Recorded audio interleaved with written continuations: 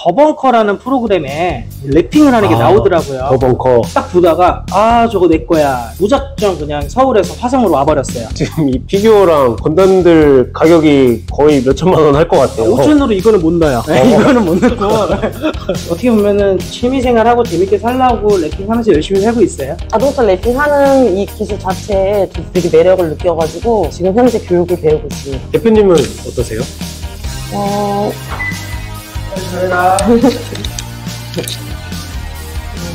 좋으세요? 정직하게 작업을 해야 된다고 생각을 해요. 그 AS를 우리는 안고 작업을 하는 거잖아요. 중요한 거는 확실한 AS 처리. 생각보다 너무 재밌고 뿌듯한 그런 직업이 될 거예요. 하시고 싶으신 분들은 자신 있게 과감하게 도전하셔도 될 것 같습니다. 안녕하세요 안녕하세요. 어, 네 대표님 자기소개 좀 부탁드릴게요 네, 안녕하세요. 저는 낭만 랩핑 최사부 채널 운영하면서 경기도 화성에서 랩핑하고 있는 어, 최사부라고 합니다. 아 네 반갑습니다 네, 감사합니다. 근데 지금 나이가 어떻게 되시는 거예요? 아, 저는 올해로 이제 84년생 40살 됐습니다. 오 엄청 동안이시네요 좀 철없이 살아가지고. 네.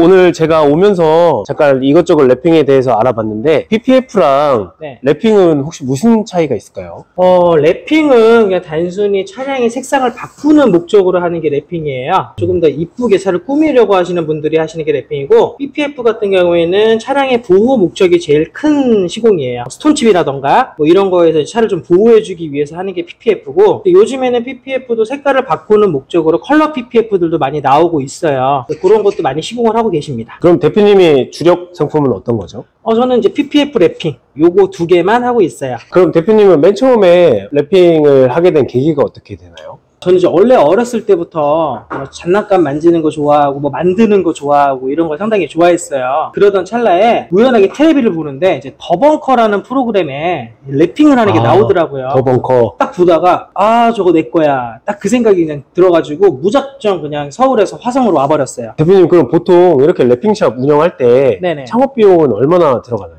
랩핑샵 같은 경우에는 다른 업종보다는 창업 비용이 조금은 적게 들어가는 편이에요. 이 욕심에 따라서 뭐 이쁘게 차리려고 하면 한도 끝도 없는 게 사실 인테리어잖아요. 근데 랩핑샵은 사실 그렇게까지 시작할 필요는 없어요. 리스크는 최대한 줄여야 된다고 생각을 하기 때문에 보통은 5천 아래로도 충분히 창업이 가능합니다. 지금 제가 오픈시킨 제 이제 제자들 둘이 오픈을 했는데 둘다 4천 아래로 시작을 했어요. 5천 정도 들었다고 하셨는데 지금 이 피규어랑 건담들 가격이 거의 몇 천만 원 할 것 같아요 5천 으로 이거는 못 넣어요. 어. 이거는 못 넣고 요, 요거 요거 건담 뺀 거가 대표님 이거 다 취미생활로 지금 하고 계신 거잖아요 네, 이건 어렸을 때부터 하는 거예요. 이거 값도 상당히 많이 나오셨을 것 같은데 혹시 이런 거 모으는데 얼마 들었는지 물어봐도 되나요? 계산이 안 돼요, 사실. 계산이 안 되고, 많이 쓸 때는, 지금은 그렇게 안 쓰고요. 지금은 불경기라. 많이 쓸 때는 한 달에 한 100만 원 정도도 쓰는 편이에요. 지금 불경기라 많이 안 쓰시고 아직 예, 그래서 취미생활 아주 제대로 하고 계시네요 어떻게 보면은 취미생활하고 재밌게 살라고 랩핑 하면서 열심히 살고 있어요.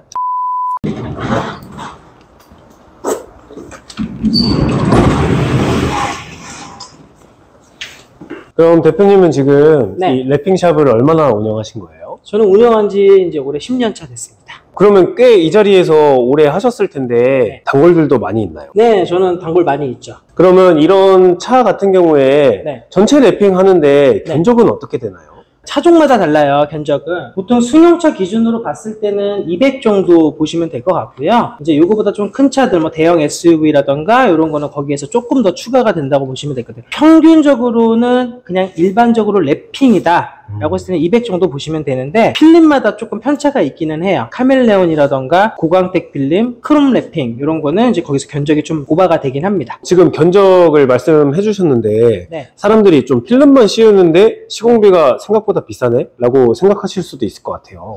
그런 경우가 없지 않아 있죠. 어, 생각보다 비싸다라고 생각하시는 분들이 있을 수는 있어요. 근데 이게 사실상 사람들이 잘 잘못 생각하는 게 다 인건비다라고 생각을 하세요. 필름 값을 너무 싸게 생각을 하시거든요. 그렇죠, 그렇죠. 근데 고가 필름이에요. 보통 이렇게 차 한 대를 하는데 필름 값 정확히 오픈할 수는 없지만 생각하시는 것보다 필름 값이 많이 비싸고요. 저희 인건비가 그렇게 많이 남지는 않습니다. 그리고 이거를 하는데 만약에 저 같은 숙련된 작업자가 혼자 작업을 하잖아요. 3일 내내 해야 돼요. 네. 한 대예요. 네, 한 대 하는데 3일 내내 이거에 붙어서 일을 해야 되기 때문에 사실 전체 랩핑 기준으로 인건비가 그렇게 많이 남는 것도 아니에요. 오히려 음. 부분 랩핑들이 인건비는 더 좋은 거죠.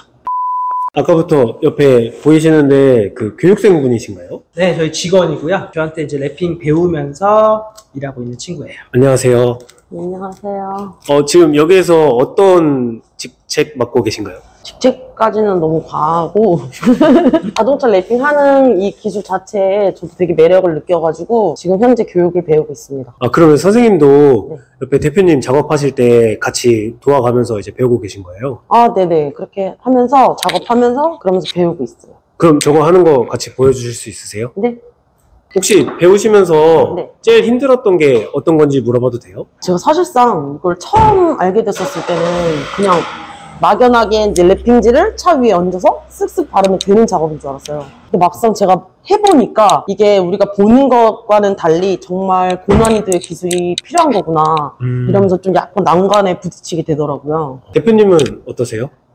어, 어, 잘해라. 좋으세요? 자, 지금 어떤 작업 하시는 거예요? 아, 지금 여기 보면은 자동차 이런 크롬 부위들 있잖아요. 네. 음, 요 부위를 이제 블랙, 검정색으로 바꾸는 작업을 할 거예요. 우리가 이제 크롬 죽이기라고 하는 작업이고요. 그거 이제 작업 한번 해보려고 해요.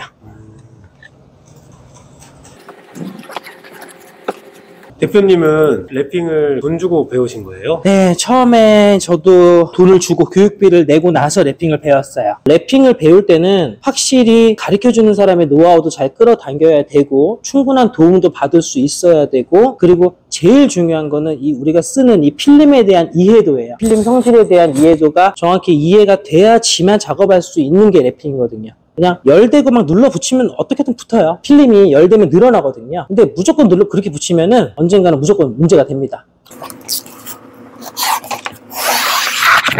지금 이 랩핑에 사용되는 필름들이 다 수명이 있나요? 보통적으로 우리가 쓰는 필름들은 3년 정도로 보시는 게 맞아요. 3년이 되면은 또 이제 재시공을 해야 되는 거예요? 어, 저희가 권장하는 거는 3년 안에 제거를 하던가 재시공을 하라고 말을 하는데 이거는 저희가 시공한 업체에 가서 필름 상태를 보고 결정을 하면 돼요. 환경에 따라서 뭐 4년, 5년까지도 유지가 되는 경우가 있긴 한데 그거는 차가 무조건 지하 주차장에 주차가 되는 경우고 필름이라는 게 자외선이 좀 약해요. 그래서 3년 정도가 보통 평균적으로 유지 기간이라고 보시면 될 것 같아요. 저 여기 붙여줄 거야. 긴, 긴장하지 마.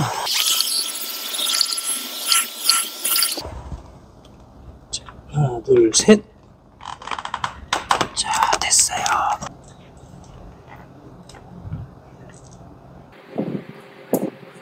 대표님 이렇게 차량 한 대를 네. 전체 랩핑하는데 뭐 200에서 뭐 큰 차들은 더 나가고 이렇게 가격이 된다고 하셨잖아요. 네네. 그럼 지금 매출은 어느 정도나 되나요? 어, 매출은 정확히 계산하는 스타일은 아니고요. 써서 이런 거는 잘 못하고 그냥 순수익으로 계산을 하면은 아, 한 달에 잘 될 때는 1000 정도, 만될 때는 700에서 뭐 800 정도. 그 정도 수익은 남고 있어요. 얼마든지 뭐 직원을 더 늘려가지고 네. 이런 사무실도 늘리고 해서 규모를 더 키우실 수 있을 것 같은데 일단 제 성격 문제인데요. 사람이 많다 보면은 아무래도 제가 그거를 일일이 다 확인을 할 수가 없는데 아무래도 직원들이 손대는 거랑 사장이 직접 모든 부위를 손대는 거랑은 좀 다르다고 저는 생각을 해요. 직원들을 욕하는 건 아니지만 저한테는 만족감이 그렇게 좋지 못했어요. 예전에 직원들도 많이 같이 일을 했었고 했는데 결국에는 그냥 혼자서 작업을 하고 있고 꼭 저한테 일을 배우고 싶은 친구들만 제가 1대1로 딱 옆에 붙어서 일을 가리키고 있어요. 직원한테 온전히 작업을 다 맡기고 하는 것도 물론 믿음이 있어서 좋긴 하지만 저는 성격상 그게 안 돼요. 그러니까 음, 쉽게 말하면 그냥 제가 불안해서 그래요. 이렇게 랩핑 하실 때 네. 커팅 기술이 따로 있나요? 네, 커팅 기술이 있죠. 음, 이게 근데 칼로 오는데 어떻게 기스가 안 날 수가 있나요? 랩핑을 배울 때, 랩핑을 배울 때 제일 먼저 해야 되는 게 우리가 이제 반커팅 기술이라는 걸 쓰게 돼요. 반커팅 또는 반칼이라고 얘기를 하는데, 필름에 정확히 칼 길만 내고 나서 필름을 찢어내는 기술이에요. 그러게 첫 번째로는 그런 칼 기술이 피- 필요하고, 두 번째로는 이제 틈 커팅이라고 하는데, 이런 지금 보면은 이렇게 틈이 있단 말이에요, 차에. 이런 거는 반커팅이라고 보다는 칼 날 끝을 정확히 이 틈 안에 넣어서 이 길을 따라서 쭉 커팅을 해주게 되는 거죠. 그때 이 칼 각도가 상당히 중요해요. 칼 각도가 위아래로 꺾이게 되면은 이 도장면에 기스를 낼 수가 있잖아요. 그러니까 칼을 정확히 틈 안에만 넣어서 이 틈 안에서만 필름을 잘라주는 거죠. 이렇게 해서 어, 여러 가지 칼 기술이 있는데 대표적으로는 이런 틈 칼질 그리고 반 칼질 이렇게 두 가지로 생각을 하면 될 것 같아요. 대표님 이 직업을 가지려면 혹시 네. 뭐 필요한 자격증이나 뭐 네. 요건 같은 게 있을까요? 자격증은 따로 없어요. 자격증이라는 거가 알아보시면 자격증이라고 이렇게 홍보하는 게 있는데 그냥 민간 자격증이에요. 자기들이 알아서 자기들끼리 만든 거고 사실상 꼭 이 직업을 하는데 필요한 자격증은 아니에요. 그냥 열정만 있으시면 됩니다. 근데 이렇게 전체적으로 싹 랩핑을 하잖아요. 네. 근데 이게 타다가 네. 마음에 안 들어서 혹시 뭐 다른 거로 랩핑을 다시 하려고 해서 필름을 제거하게 되면 도장면이 벗겨지지는 않나요? 필름을 이렇게 시공하고 나서 필름을 제거할 때 아, 도장면에는 손상이 없다라고 보시면 되는 게 맞아요. 처음에 출고가 될 때 도장면은 필름을 뗄 때 손상이 되지 않습니다. 근데 이것도 100% 저희가 손상이 되지 않는다고 말할 수 없는 게 뭐냐면 어, 재도장이 됐거나 하는 부분들은 필름을 뗄 때 손상될 수 있는 확률이 약간은 있어요. 그리고 더더욱 우리가 말하는 편하게 말해서 야매 도장이라 그러죠. 잘못된 도장은 필름을 제거할 때 떨어지는 경우가 종종 있습니다. 사실 이런 경우가 있어요. 내가 중고차를 사왔을 경우에 이게 재도장이 되어 있는 건지 사실 모르잖아요. 그런 경우에 랩핑을 했- 하고 나서 제거를 할때 도장면이 떨어지는 건 사실 편하게 내 운이에요. 그거 떨어지는 건 사실 어쩔 수 없어요. 그걸 저희가 막을 수 있는 방법도 없고 그거는 사실 어쩔 수 없는 부분이고요. 그리고 또 하나 조심하셔야 되는 게 뭐냐면 내가 랩핑 업계에 있는 사람이긴 하지만 내가 중고차를 살 때 랩핑이 돼 있는 차는 사지 마세요. 상당히 위험합니다. 이 랩핑을 뗐을 때 그 도장면이 어떻게 돼 있을지 모르고 그 안에 도장면이 색칠이 되, 되져 있지 않고 그냥 판금, 도색을 하지 않은 상태로 랩핑을 해놓은 경우가 가리기 위해서 해놓은 랩핑이 있기 때문에 절대로 랩- 중고차 랩핑되어 있는 걸 사지 마세요. 그 뭐지? 알루미늄 있잖아요. 그거 이렇게 하다가 팍 뭐. 랩핑을 지금 얼마나 했는데 손가락을 잘라, 모양 가지고. 안녕하세요. 안녕하세요. 대표님한테 이제 배우신 분인 거예요? 네, 제 2호, 2호 교육생이자 이제 저 친한 동생. 어떻게 찾아오시게 된 거예요? 필름이 좀 급하게 필요해가지고 빌리러 왔어요. 어, 대표님은 지금 그러면 샵 오픈하신 지 얼마나 됐어요? 지금 6개월 차입니다. 어, 이제, 이제 막 시작하셨네요. 네네. 해보니까 어떠세요? 좀 많이 힘들긴 한데 그래도 한 대 한 대 작업할 때마다 보람도 많이 느끼고 재밌어요. 필름 빌리러 오신 건가요? 아니면은 그냥 주신다고 하신 건가요? 필름 빌리러 왔죠. 줄게. 줄게. 랩핑을 맡기실 때 업체 선정이 상당히 중요하다라는 건 누구든 알고 계실 거예요. 랩핑이라는 게 사실 경력에 따라서 그 가게를 갈 필요는 없다고 저는 생각을 합니다. 저는 물론 지금 10년 동안 한 자리에서 랩핑을 하고 있고 제가 랩핑 장인이라고 자부할 수 있지만 랩핑이라는 게 사실 2, 3년 정도 하면은 누구나 다 좋은 기술자는 돼요. 빠른 사람은 한 1년만 해도 좋은 기술자가 될 수 있기 때문에 어떤 사람한테 맡기느냐가 중요한데 내가 사실 그 업체가 얼마나 했는지 어떻게 잘하는지 맡기기 전에는 모르는 거거든요. 그러니까 최대한 알아보시고 이 가게가 어느 정도 유지가 됐는지도 알아보시고 그 가게에 보면 홍보 사이트 홈페이지라든가 블로그 같은 게 있을 거예요. 거길 보셔서 최대한 얼마나 많은 차를 작업을 했는지를 봐주시면 될 것 같아요. 조심해야 되는 건 뭐냐면 요즘에 랩핑 시장이 조금 안 좋은 게 이 랩핑을 배운 지 얼마 안 되고 기술이 100% 숙련되지 않았는데 샵을 오픈하는 경우가 상당히 많습니다. 가게가 상당히 많이 생기고 있지만 그만큼 폐업률도 높은 게 랩핑샵이거든요. 그래서 상당히 잘 알아보시고 이제 결정을 하셔야 되는데 집에서 가까운 곳을 찾으시기보다는 이 가게가 얼마나 운영을 했느냐 얼마나 많은 차를 시공을 해봤고 얼마나 많은 노하우가 쌓였냐가 제일 중요한 것 같아요. 샵을 맡기실 때는 그렇게 하시면 되고 요즘에 필름을 또 걱정하시잖아요. 필름이 뭐 정품 필름을 쓰냐 안 좋은 필름을 쓰냐 이러는데 저가 필름을 쓰는 시대는 끝났습니다. 예, 이제 저가 필름 안 써요. 다 좋은 필름들을 사용하고 있기 때문에 이 필름에 대한 걱정은 안 하셔도 됩니다. 그냥 기술 보고 가시면 돼요. 무릎 쭉 감아서 그냥 당겨서 붙이면 돼. 힘 줘서 싹 감아주면 돼. 이런 사이드 미러나 이런 네. 작은 부분만 하는 건 혹시 견적이 얼마나 드나요? 모양마다 다르긴 한데 보통은 한 6만 원에서 10만 원 정도 그 정도 견적으로 이렇게 랩핑을 할 수가 있어요. 대표님 이렇게 작업할 때 네, 제일 중요하게 생각하시는 게 있나요? 어, 랩핑을 하면서 제일 중요하게 생각하는 거요. 일단은 결과물이죠. 결과물이 좋아야 된다라고 생각을 하고요. 그리고 지금 랩핑을 하면서 제가 가게를 운영하면서 제일 중요하게 생각해야 되는 거는 저는 항상 제 블로그에도 마찬가지고 영상에도 마찬가지고 저는 정직하게 시공해야 된다라고 항상 생각을 해요. 이게 아무래도 사람이 손으로 하는 거기 때문에 실수가 분명히 존재를 하거든요. 차를 탈거하다가 파손시키는 경우가 있을 수도 있고 근데 그런 거를 사실 많은 업체에서 어, 숨기고 하는 것도 사실이에요. 파손돼 있는 거를 뭐 실리콘이나 글루건으로 붙여가지고 눈 가리고 아웅을 하는 거죠. 그런 식으로 하는 경우가 상당히 많은데 그런 거는 아깝다고 생각하지 말고 사람이니까 실수할 수 있어요. 차주님한테 사실대로 말씀을 드리고 어, 보상해 드릴 수 있는 부분 보상하고 어, 물론 그런 일이 안 생기면 좋죠. 정직하게 작업을 해야 된다고 생각을 해요. 그 AS를 우리는 안고 작업을 하는 거잖아요. 중요한 거는 확실한 AS 처리 그리고 내가 실수한 부분을 확실히 인정할 줄 아는 정직함이 저는 필요하다고 생각을 해요.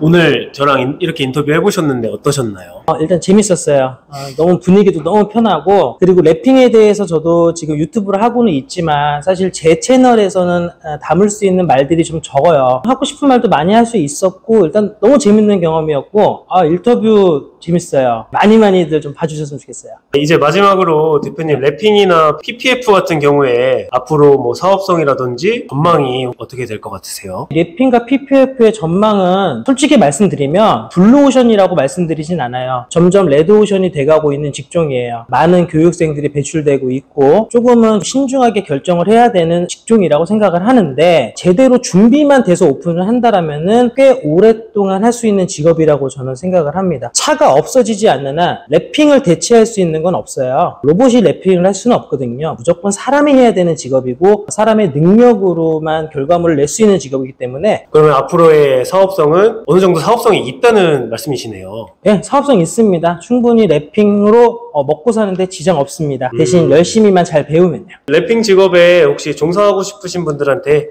한마디 해주신다면? 많은 분들이 요즘에 이제 기술에 관심을 갖는 시대가 왔어요. 아, 그래서 랩핑도 많이 배우고 싶어 하시고 실제로 저한테 랩핑 문의, 교육 문의도 상당히 많이 하시는데 저는 요거는 꼭 말씀드리고 싶습니다. 랩핑은 절대 쉽 게 생각하고 덤빌 수 있는 업종은 아니라고 저는 생각을 해요. 막상 시작을 하면은 생각보다 너무 힘든 직업입니다. 육체적으로도 힘들고 정신적으로도 힘들고 상당히 힘든 직종이고 이 기술을 내가 가지기까지의 기간이 어, 떻게 보면 인내의 시간이라고 말씀을 드릴 만큼 힘들어요. 절대 쉽게 생각하고 덤비지는 않았으면 좋겠습니다.